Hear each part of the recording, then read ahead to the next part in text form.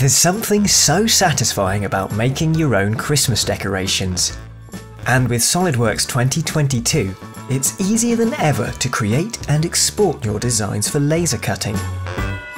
I've created this wooden tree design as a multi-body part and have saved out the individual bodies to their own part files. For best results when laser cutting, use the sheet metal tools to create or convert the bodies to sheet metal. This lets us make the most of sketch geometry. Laser cutters read vector files, so we need to export the outlines of these parts to DXFs or DWGs. Convert entities of the bodies and colour the sketches to distinguish between cutting and engraving.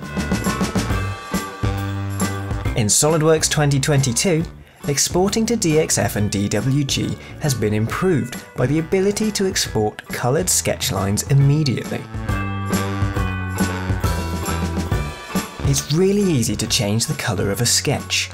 Right-click on the sketch in the Feature Manager tree, select Sketch Colour and choose a colour.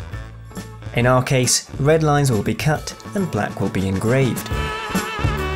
To export a DXF of this design, right-click on the desired face, select Export to DXF or DWG from the menu and choose a location to save the file to.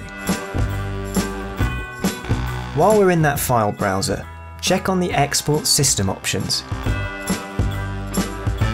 Make sure that custom maps are enabled and select the option to not show mapping on each save. This allows our sketch geometry to take precedence over our existing geometry edges. In the Property Manager then, make sure to select Sheet Metal and tick the option to include sketches. Review the results in the pop-up window. We're happy with ours, so we can open this up in DraftSight and start laser cutting.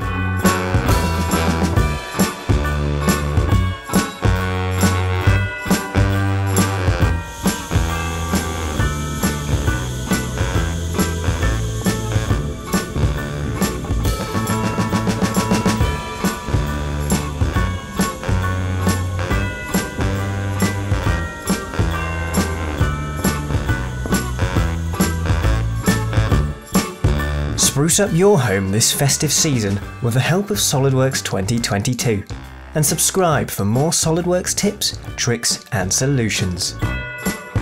Wishing you happy holidays and a productive new year from all of us at Solid Solutions.